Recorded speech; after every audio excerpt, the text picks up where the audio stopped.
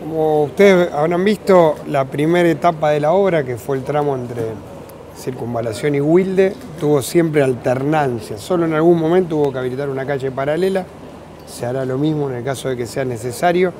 Como en este caso estamos hablando de una duplicación de traza, siempre se puede trabajar primero en el tramo duplicado y luego volver al tramo original. ¿eh? Va a ser parte del, del trabajo cotidiano. Es una obra que valoramos mucho nosotros en el mes de diciembre el gobernador presentó un aporte de obras viales a la ciudad que tienen que ver con varios tramos estratégicos de accesibilidad. Ayacucho, Boulevard Segui, en este caso Newbery, que es la de mayor importancia, ya se están abriendo los sobres fin de enero, así que apenas podamos, supongo que en un mes, mes y algo que empiece el contrato, y es una obra que nos va a permitir también agregar todo un tramo de vinculación entre el noroeste con el resto de la ciudad de Rosario a través de la, de circunvalación. Así que estamos muy conformes y, muy agradecidos y en términos de la logística, como insisto, es una obra duplicada. Quizás el tramo más bravo va a ser en la duplicación del puente, bueno, cuando sea ese tramo tendremos que ver las alternativas.